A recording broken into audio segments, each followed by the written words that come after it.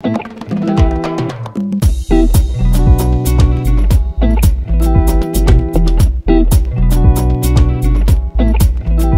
moi, ce DU, c'est l'occasion de rencontrer d'autres enseignants qui euh, expérimentent les mêmes choses dans leur classe et de pouvoir euh, croiser nos expériences. D'abord, je suis très curieuse et puis euh, j'avais envie de dynamiser un peu euh, mes cours et surtout dynamiser les projets de rendu de mes étudiants. Parce qu'il n'y a pas tant que ça de formation euh, liée au numérique et à la pédagogie.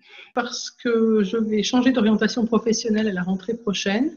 Petit à petit, j'ai ressenti le besoin d'avoir une vision un petit peu plus large de ce qui peut se faire en termes de numérique dans le domaine de l'éducation voilà, j'attendais plus ou moins ça, sans, sans, savoir ce qui se tramait, mais donc euh, j'ai sauté sur l'occasion.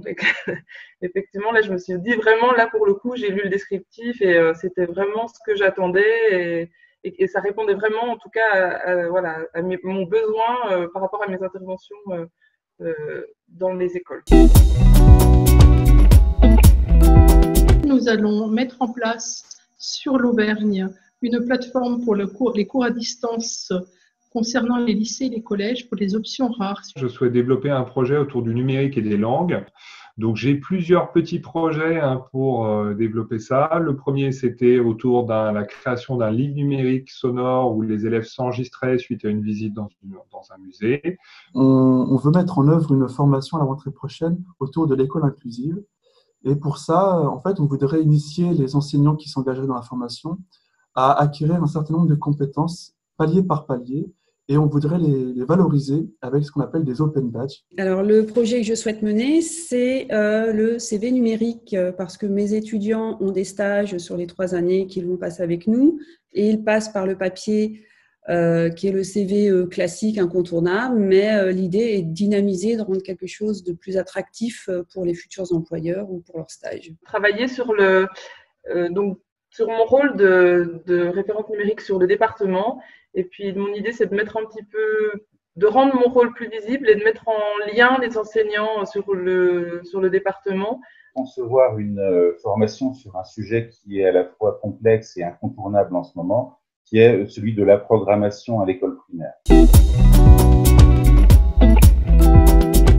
Euh, cette formation, c'est pour moi l'occasion de rencontrer euh, des formateurs vraiment qui viennent d'horizons très très différents. Par la communauté euh, d'élèves, d'étudiants, hein, mais qui sont en fait des enseignants comme moi, euh, qui s'est créée. On a beaucoup d'échanges. Et le partage des, des, idées, le partage des pratiques dans ce qu'on fait. On vient de régions différentes euh, de toute la France. Euh, on partage des réalités différentes.